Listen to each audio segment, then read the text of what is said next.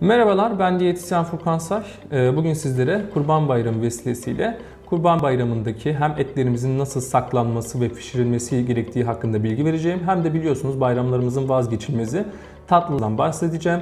Öncelikle etimizi kestirdikten sonra hemen tüketmenizi istemiyoruz. En azından bir gün boyunca etlerinizi dinlendirip ondan sonra etlerinizi pişirmeniz lazım. Etleri saklarken şuna dikkat edin. Ee, genellikle büyük parça et olarak biz saklamaya çalışıyoruz buzluklarımızda. Sonrasında bunları çözdürdüğümüz zaman e, artan etleri tekrardan dondurma gibi bir şansımız yoktur. Bakteri gelişimine neden oluyor ve e, sıkıntılar oluşabiliyor. Bu tarz sıkıntıların oluşmaması için mümkün olduğunca etlerinizi küçük porsiyonlar halinde buzlukta saklamanız bizim için önemli.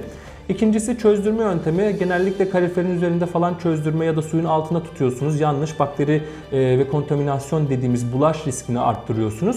Genellikle buzdolabının alt kısmında çözdürmemiz daha doğrudur.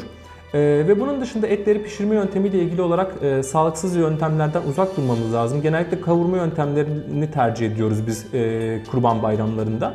E, kavurma yöntemlerinde sıkıntı şu, e, zaten etin yağlı kısımları mevcut ve bu etin yağlı kısımları bizim kolesterol seviyelerimizi, trigliserit dediğimiz değerlerimizin yükselmesine neden olabiliyor. Kavurma yöntemine ek olarak biz bir de zeytinyağı, tereyağı gibi ekstradan yağlar kullanıyoruz ve daha da yağlı hale getiriyoruz bu yiyecekleri. Ee, mümkün olduğunca etlerimizi haşlama ve ızgara yöntemleriyle pişirerek kullanırsak bizim için daha sağlıklı bir yöntem olacaktır. İkinci dikkat etmemiz gereken konu ise bayramların vazgeçilmezi tatlılar ve şekerler.